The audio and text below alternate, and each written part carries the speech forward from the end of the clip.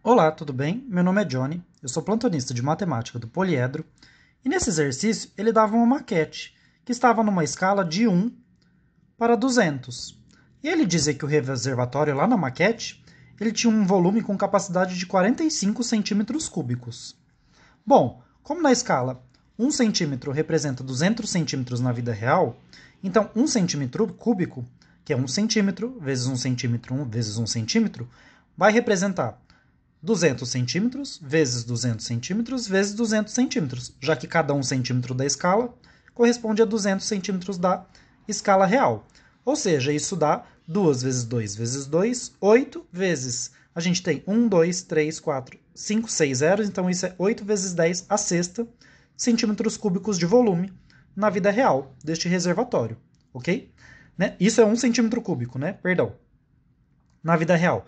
O reservatório, como ele tinha 45 centímetros cúbicos, como cada centímetro cúbico lá da maquete corresponde a 8 vezes 10 a sexta, então nós vamos ter 45 vezes 8 vezes 10 a sexta. 48, 45 vezes 8 é o 360, vezes esse 10 a sexta centímetros cúbicos.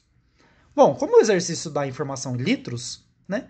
Aí aqui a gente tem, a gente sabe que um litro são mil centímetros cúbicos, ou seja, 10 a terceira centímetros cúbicos. Então aqui eu vou reescrever como sendo 360 vezes 10 a terceira vezes 10 a terceira centímetros cúbicos.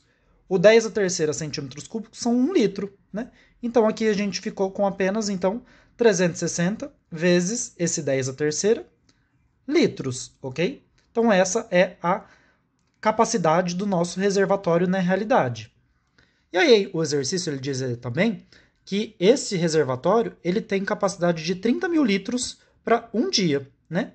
E esse 30 mil é 30 vezes 10 a terceira litros para um dia.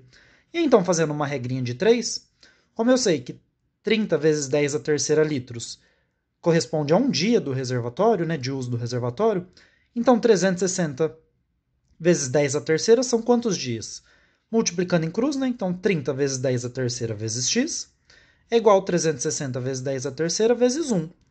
Cortando os 10 a terceira, a gente chega que o x é o 360 dividido por 30, que dá 12. Portanto, o reservatório consegue né, armazenar água né, para sendo utilizada por 12 dias, ok? Muito obrigado pela atenção e bons estudos!